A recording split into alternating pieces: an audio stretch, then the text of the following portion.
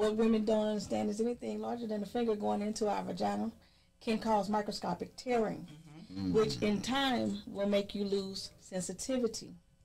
We don't need to lose no nerves. Right. We need to feel it all. We definitely. And even though yes. you have moisture, a penis is porous and it can absorb our, you you know, Right. Really? Yeah, So it if you definitely ever does. notice, Really? um, and also women's moisture can be changed. So do either one of y'all have sinus issues?